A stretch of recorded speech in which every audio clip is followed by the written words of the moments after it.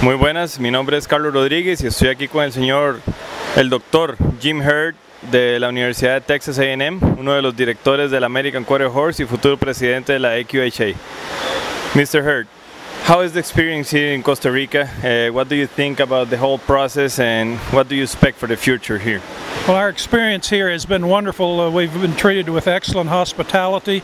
Uh, the horses have been good that have, they have brought here for the clinic, but most importantly, the the people have a real uh, thirst for knowledge. They're trying to learn everything that they can, and in that process, they've asked lots of questions and been very willing to be a part of the clinic and learn as much as they can.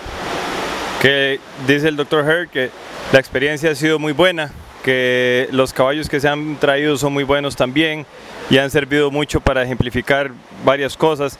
La gente se ha visto con mucho interés, ha, preguntado y ha tenido mucho interés por todo lo que se ha hablado. ¿Ah? Digamos, esto